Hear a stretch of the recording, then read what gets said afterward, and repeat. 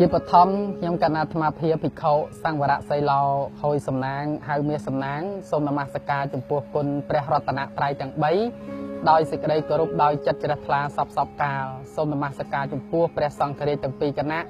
សូមនមស្ការចំពោះព្រះមន្ត្រីសង្ឃគ្រប់ឋានានុក្រមមើលលើសូមចម្រើនពរដល់លោកតាបណ្ឌិតសពរសធរបេតាស្ថាបនិក នៃសាកលវិទ្យាល័យបញ្ញាសាស្ត្រកម្ពុជាក៏ដូចជាចម្រើនពរដល់លោកគ្រូអ្នកគ្រូសាស្ត្រាចារ្យមិត្តនិស្សិតនៃសាកលវិទ្យាល័យបញ្ញាសាស្ត្រកម្ពុជាក៏ដូចជាញាតិញោមសាធុសពបរោះប្រុសស្រីទាំងអស់ទាំងទីចិត្តឆ្ងាយទាំងក្នុងនិងក្រៅប្រទេស ជាទីស្រឡាញ់រាប់អានព្រោះថ្ងៃនេះគឺស្មារភាពបានសហការគ្នាជាមួយនឹងក្លឹបព្រះពុទ្ធសាសនាដើម្បីយុវជននិងសង្គមដាក់ប្រធានបទមួយដែលមាន ចំណងជើងថា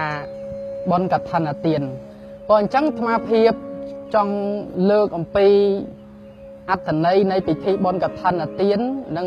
បញ្យល់អំពីអត្តន័យនីមួយៗឲ្យបានច្បាស់លាស់តែមុននឹងសម្ដែងក៏ដូចជាលើកឡើងនៅអត្តន័យនៃពិធីបនកឋិនទានគឺចង់ឲ្យបកករណាប្រគុណម្ចាស់ក៏ដូចជាញាតិញោមសាធុសពបរោះប្រុសស្រីទាំងអស់បានជ្រាបថា កឋិនទានគឺវាមានអំណាចជាប់តាក់ទងជាមួយនឹងការចាំព្រះវស្សារបស់ភិក្ខុសង្ឃបើសិនបើការចាំព្រះវស្សារបស់ភិក្ខុសង្ឃមិនបានត្រឹមត្រូវមិនល្អឬក៏ដាច់ព្រះវស្សាទេគឺការភិក្ខុសង្ឃគ្មានសិទ្ធិអនុមោទនាឬក៏ក្រាលក្រងនៅកឋិនទាននោះឡើយបងអញ្ចឹងញាតិញោមជាពុទ្ធបរិស័ទប្រុសស្រីទាំងឡាយតោងជ្រាបថា ការបវារណារបស់ភិក្ខុសង្ឃបើសិនជាបវារណាញាតិញោមតែនិយមហៅថាចេញព្រះវសាក្នុងភាសាព្រះវិន័យលោកហៅថាបវារណាកម្មបវារណាកម្មភាសាសាមញ្ញធម្មតាមានន័យថាចេញព្រះវសាចេញព្រះវសានោះទៀតសោតគឺភិក្ខុសង្ឃភិក្ខុសាមណេរអង្គខ្លះដែលលោកអ្នកចេះព្រះវិន័យដឹងសិក្សារៀនសូត្រមិនជាបញ្ហាចោតទេតែអ្នកដែលចេញភាសាតាមទម្លាប់ ដែលមិនទាន់សិក្សាយល់ឲ្យបានស៊ីជម្រៅគឺនៅតាមជនបទដាច់ស្រយាលឆ្ងាយឆ្ងាយនិយមច្រើនចេញតាមទម្លាប់មិនបានសិក្សាឲ្យបានស៊ីជម្រៅមិនទាន់យល់ក៏នាំគ្នាចេញភាសាថ្ងៃមួយរោចការចេញព្រះភាសាថ្ងៃមួយរោចធ្វើកឋិនអត់ឡើងទេភិក្ខុសង្ឃអត់បានអានិសង្ឃកឋិនចឹងបានជានៅក្នុងព្រះបាលីលោកសំដែងឡើងអាងថាសុណាតុមេពហន្តេសង្ឃោ អជ្ជបណ្ណរស័យយតិសង្ឃសបតកាលាំងទេវាចកាំងបវារយៈបានន័យថាពីសូមភិក្ខុសង្ឃទាំងឡាយសូមប្រសង់ស្ដាប់ខ្ញុំថ្ងៃនេះជាថ្ងៃបវារណាទី15ភិក្ខុសង្ឃបវារណាមួយអង្គ3ដងអញ្ចឹងគឺភិក្ខុសង្ឃនាំគ្នាចេញព្រះវស្សានៅថ្ងៃ15កើតពេញបរមីខែអាសត់គឺជាថ្ងៃបវារណាកម្មចេញភាសារបស់ភិក្ខុសង្ឃពេលដែលថ្ងៃ បវារណានៅថ្ងៃ15កើតពេញបរមីខែអាសត់នេះចប់ទៅ ថ្ងៃមួយរោចគឺជាថ្ងៃដែលភិក្ខុសង្ឃទទួលនៅកឋិនទានអានិសង្ឃលៀបដែលបានចាំព្រះវស្សាគ្រប់3ខែមិនមានដាច់ទើបមានសិទ្ធិទទួលក្រាលក្រងកឋិននិងអនុមោទនាកឋិនចូលមកដល់កឋិនវិញចង់បញ្ជាក់បន្តិចទៀតថា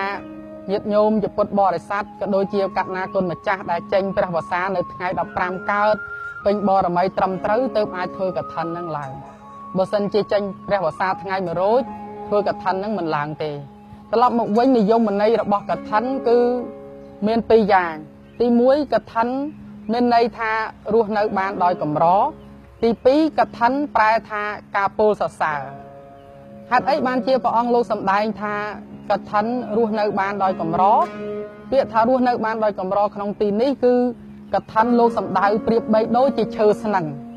ដែលបុគ្គលកាត់ចាញ់ចាអំពីមែកចាអំពីដើមឈើហើយយកទៅបោះភ្ជាប់នឹងដី រមែងដុះលូតលាស់បានដោយដោយកម្រយ៉ាងណាឯកិច្ចដែលកើតឡើងឬនឹងតាំងឡើងឲ្យជាកថាពេញទីក៏បានដោយកម្រពួនពេកណាស់ក៏យ៉ាងនោះដែរមួយទៀតព្រះអត្តកថាលោកបញ្យល់ថាពាក្យថាក្រនៅក្នុងទីនេះ គឺកម្រនឹងធ្វើត្រូវធ្វើឡើងជាកថាពេញទី ក្រនៅក្នុងទីនេះសំដៅដល់ក្រអ្នកចេះដឹងក្រអ្នកយល់ក្រភិក្ខុអ្នកឆ្លៀសប្រតិពលអ្នកឆ្លាតនៅក្នុងព្រះវិន័យធ្វើឲ្យបានត្រឹមត្រូវទៅតាមព្រះវិន័យកិច្ចពីព្រោះថាកឋិនជាពុទ្ធថាបញ្ញត្តិនិងជាពុទ្ធានុញ្ញាតណាជាពុទ្ធបញ្ញត្តិផងនិងជាពុទ្ធានុញ្ញាតផងកឋិនអត់មានភិក្ខុអត់មានឧបាសកឧបាសិកាទេយុទេយិកាណាសុំទូលឲ្យព្រះអង្គសុំធ្វើកឋិនទេ គឺព្រះអង្គលោកអនុញ្ញាតដែលបានន័យថាជាពុទ្ធបញ្ញត្តិគឺព្រះអង្គលោកបញ្ញត្តិហើយទ្រង់ពុទ្ធានុញ្ញាតហើយបានឧបាសកឧបាសិកាទៅសុំព្រះអង្គធ្វើកឋិនទានហ្នឹងគឺវាប្លែកគ្នាអញ្ចឹងតកតងទៅនឹងពិធីបន់កឋិនទានហ្នឹងអត្តន័យថារស់នៅបានដោយកម្រហ្នឹងគឺក្រអ្នកធ្វើត្រឹមត្រូវក្រអ្នកចេះដឹងក្រអ្នកយល់នៅក្នុងកិច្ចកឋិនហ្នឹងឲ្យបានត្រឹមត្រូវធ្វើឲ្យបានត្រឹមត្រូវហ្នឹងគឺក្រទីនេះគឺក្រអញ្ចឹងឯងដល់ក្រ មួយទៀតគឺក្រអ្នកសោតឲ្យបានឡើងបានន័យថាក្រអ្នកយល់ដឹងហ្នឹងគឺភិក្ខុសង្ឃដែលជាអ្នកសោតកឋិនហ្នឹងគឺត្រូវសោតឲ្យបានត្រឹមត្រូវទៅតាមអក្ខរក្រមនៃភាសាបាលីបើសូត្រមិនបានត្រឹមត្រូវទេសូត្រម៉ាម៉ាយកតែសងទេគឺធ្វើកឋិននេះអត់បានអានិសង្សទេភិក្ខុសង្ឃអត់បានអានិសង្ស5តែម្ដងនឹងនិយាយចំណុចនឹងបន្តិចមួយទៀត កឋិនប្រែថាពោលសរសើរអត្ថន័យនៃការពោលសរសើរនៅក្នុងទីនេះព្រះសម្មាសម្ពុទ្ធព្រះអង្គលោកពោលសរសើរថាកឋិនគឺជាកាលទានណាជាទានមានកាលកំណត់ធ្វើ គឺក្នុងមួយឆ្នាំធ្វើបានតែមួយខែទេ គឺ29ថ្ងៃ គឺចាប់ពីថ្ងៃ100ខែអាសត់រហូតដល់ថ្ងៃ15កើតពេញបរមីខែកដឹកនឹងចប់កឋិនណាអានឹងគឺជាកាលទានសពសាទហើយជាទានមាននៅក្នុងព្រះវិន័យសពសាទ ជាកម្មរបស់ភិក្ខុសង្ឃសពសាទអញ្ចឹងកម្មនៅក្នុងទីនេះលោកចែកចេញជាពីរទៅទៀតគឺ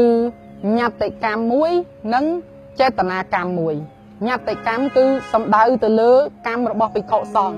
កម្មនឹងឯងធ្វើបានតែភិក្ខុសង្ឃទេសាមណេរធ្វើមិនបានទេភិក្ខុសង្ឃនោះទៀតសោតគឺធ្វើចាប់ពី5អង្គឡើងទៅណាទៅអាចធ្វើកឋិនបានណាក្រាលក្រងមួយអង្គណា4អង្គទៀតជាអ្នកហត្ថបាស ជាភិក្ខុសង្ឃដែលជាអ្នកចេះជាអ្នកឆ្លៀតប្រតិពលមួយអង្គឬក៏ពីរអង្គជាអ្នកសោតកឋិនសោតកឋិននឹងមួយអង្គក៏បានពីរអង្គក៏បានហើយរឿងក្រើនកឋិននឹងទៀតសោតការក្រើនកឋិនអាត្មាភាពចង់បញ្ជាក់ថាបើដឹងថាអង្គណាក្រាលក្រងហើយមិនចាំបាច់សូត្រក្រើនកឋិនក៏បានដែរអត់ទាស់ខុសទេនឹងនៅក្នុងព្រះវិន័យលោកបញ្ជាក់អញ្ចឹងត្រឡប់មកវិញចង់ឲ្យញាតិញោមជាពុទ្ធបរិស័ទប្រុសស្រីទាំងឡាយបានជ្រាបអំពីចំណុចដែល ចេតនាកម្មសង្កកម្មចំណែកឯចេតនាកម្មចេតនាកម្មគឺគ្រាន់តែញាតិញោមជាពុទ្ធបរិស័ទដល់រដូវកឋិនហើយញាតិញោមដែលជាអ្នកមានសទ្ធាជ្រះថ្លាជាអ្នកចំណាយនៅធនធានរបស់ខ្លួនដែលមានតម្លៃ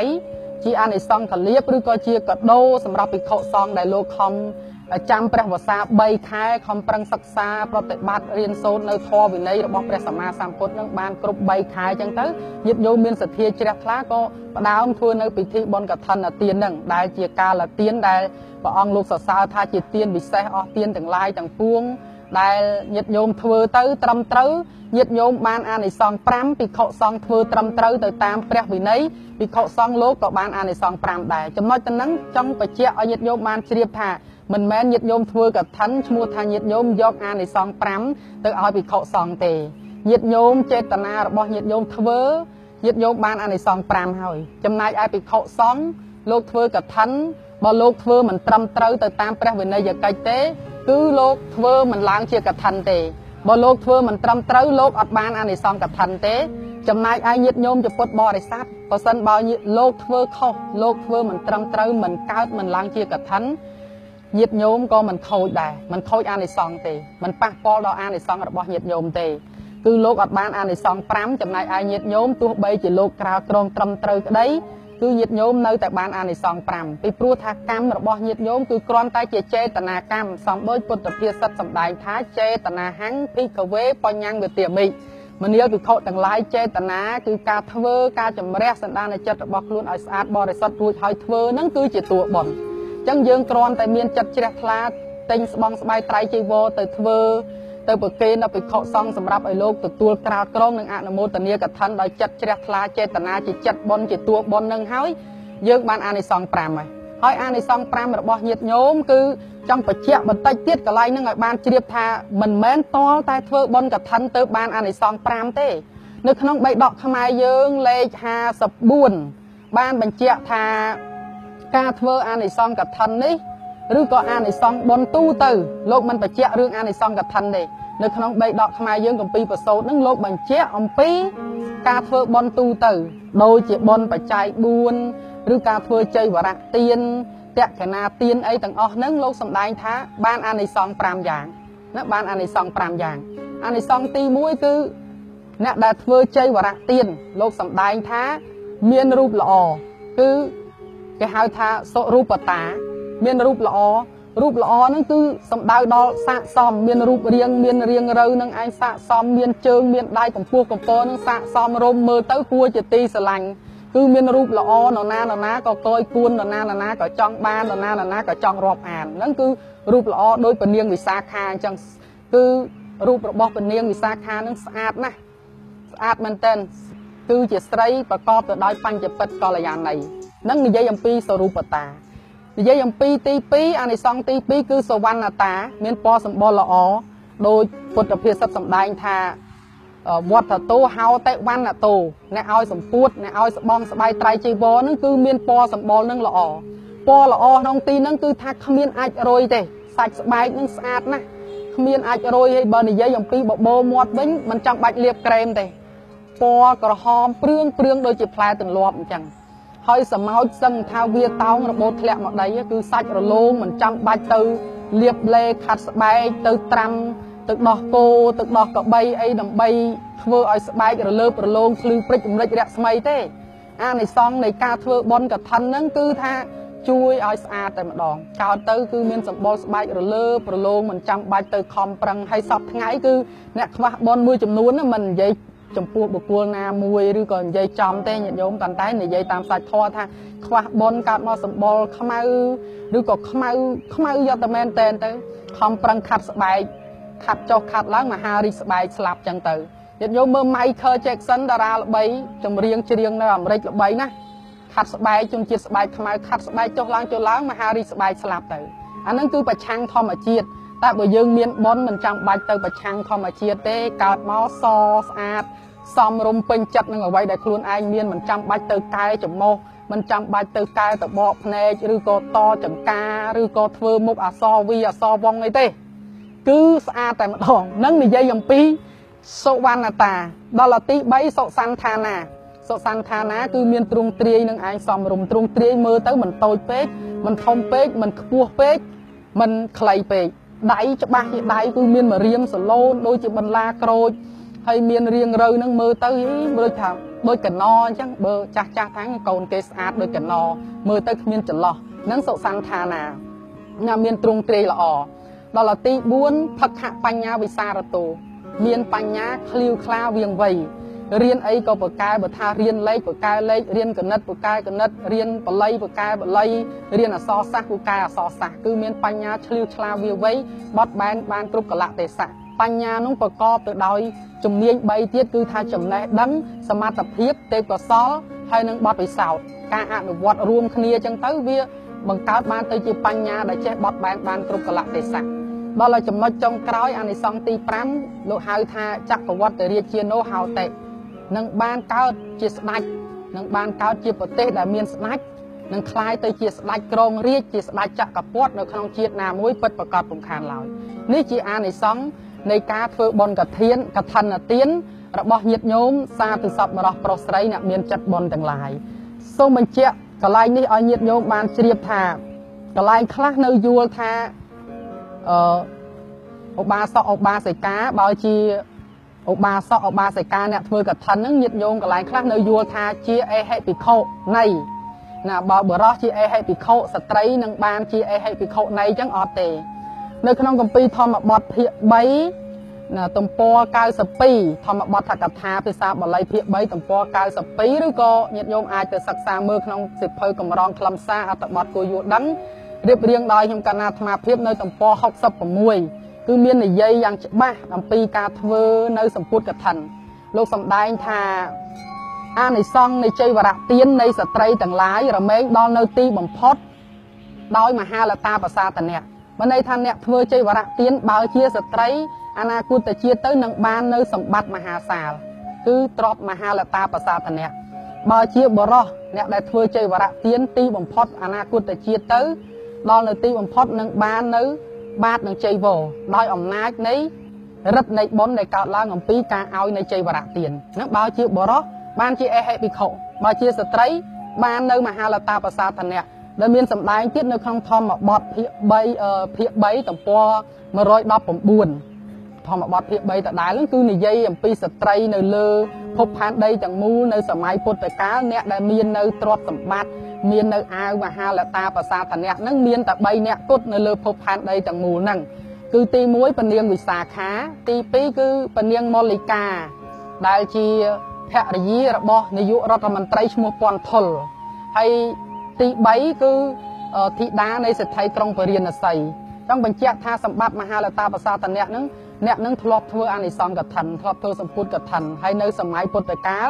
មានតែ3អ្នកគត់នៅលើភពផែនដីនៅក្នុងសាសនាពុទ្ធនេះមានតែ3អ្នកនឹងឯងដែលស្ត្រីមាននៅអាវមហាលតាប្រសាទនៈហើយអាវនោះមានចំនួន9កោតគឺមាន9កោតមាស9កោតលុយគឺលុយច្រើនណាស់9កោតហ្នឹងមិនដឹងថាមួយកោតមួយកោតហ្នឹងសម័យព្រះមានចំនួនប្រមាណទេតែបើនិយាយអំពីកោតវិញបើនិយាយពីមាសប្រហែលជាប្រមាណ4 5រតេះនោះ នឹងនិយាយអំពីកោតនឹងអញ្ចឹងទ្រព្យសម្បត្តិនឹងគឺកោតឡើងដល់អ្នកដែលធ្វើនៅកឋិនទាននឹងចង់បញ្ជាក់អំពីអានិសង្សកឋិនទានឲ្យញាតិញោមពុទ្ធបរិស័ទបានជ្រាបកុំឲ្យយល់ច្រឡំតទៅទៀតថាស្ត្រីបានជាអេហិភិក្ខុនៃអត់ទេ ស្ត្រីបានតែសម្បត្តិមហាលតាប្រសាធនៈទេចំណែកបុរសអនាគតជាតិនឹងបានជាអេហិភិក្ខុដែលមានន័យថា អេហិចូលមកគឺព្រះសម្មាសម្ពុទ្ធជាឧបជាបំពោះផ្ទាល់ព្រះអង្គគាត់តែព្រះអង្គលោកហៅជាភាសាបាលីថាអេហិអ្នកចូលមកជាភិក្ខុចុះគឺសម្ពុតស្បងស្បៃត្រៃជ័យវរគឺកើតឡើងឯងពេលនោះកើតដោយអំណាចរិទ្ធកើតដោយអំណាចបុណ្យមិនចាំបាច់ទៅស្វែងរកស្បងស្បៃត្រៃជីវរណាទេនឹងនិយាយអំពីអានិសង្សកថាប៉ុណ្ណឹងចុះហើយជាចុងក្រោយចង់បញ្ជាក់ឲ្យញាតិញោមជាពុទ្ធបរិស័ទប្រុសស្រីទាំងឡាយបានជ្រាបបន្តិចទៀតថា អានិសង្ស5របស់ញាតិញោមទោះបីជាភិក្ខុសង្ឃធ្វើកថាឡើងក្តីមិនឡើងក្តីញាតិញោមនៅតែបានអានិសង្ស5ពីព្រោះថាកម្មទាំងពីរនឹងចែកដាច់ពីគ្នាភិក្ខុសង្ឃលោកហៅថាជាបញ្ញត្តិកម្មចំណែកឯញាតិញោមជាពុទ្ធបរិស័ទលោកហៅថាជាចេតនាកម្មគ្រាន់តែមានចិត្តជ្រះថ្លាទៅញាតិញោមថ្វាយទៀនទៅញាតិញោមបានអានិសង្ស5ហើយអត់មានខ្វះអត់មានចន្លោះអត់មានបាតទេប៉ុន្តែ ចង់បញ្ជាក់ឲ្យញាតិញោមជ្រាបថាកថានៅក្នុងទីនេះមកអំពីពាក្យថាកថាធាតប្រែថាពោលប្រែថានិយាយប្រែថាប្រកេនដោយវាចាអត់ប្រកេនដោយបន្ទាល់ដៃទេចឹងញាតិញោមអ្នកធ្វើកថាចង់បានអានិសង្ស5ពេញបរិបូរតោងញាតិញោមហែកថាជុំវិញព្រះវិហារហើយចូលទៅវេចូលទៅវេនឹងដោយប្រើពាក្យថាខ្ញុំបកករណាសូមប្រគេននៅសម្ពុតទាំងអស់នេះសម្ពុតត្រៃចីវរនេះដល់ភិក្ខុសង្ឃ វេដោយបញ្ចេញវាចាអញ្ចឹងថាអ៊ីទាំងកថេណជ័យវរាំងសានិសង្សង្សង្ខសៈទេមៈថាបបិទ្ធព្រះភិក្ខុសង្ឃដ៏ចម្រើនខ្ញុំប្រកាសរណាទាំងឡាយសូមវេប្រគេនសម្ពុតសម្ពុតទាំងអស់នេះដើម្បីកថានទានតោះតែបញ្ចេញវាចាប៉ុណ្ណឹងញាតិញោមចង់សោតយ៉ាងកេញជូនបនអីទៀតទៅក៏ចប់ក៏ស្រេចតែញាតិញោមទៅហើយនឹងជាចប់កិច្ចញាតិញោមវេចប់អានិសង្ឃ5របស់ញាតិញោមក៏កើតមានបានពេញបរិបូរណ៍ តែបើមិនបានទៅចូលរួមវេឲ្យចប់ទេអាឡ័យតែទៅហើយបញ្ញាប់ចេញមកផ្ទះវិញខ្លាចកូនយំគ្មានអ្នកចាំផ្ទះអីទេអានិសង្ឃរបស់ញាតិញោមអត់បានពេញបរិបូរណ៍ទេនឹងជំរាបសង្ខេបត្រួសត្រាសខ្លីៗព្រោះពីព្រោះថាកថានទាននេះបើសិនជាអធិប្បាយស្រ័យបំភ្លឺនិយាយឲ្យវែងឆ្ងាយទៅហ្នឹងគឺ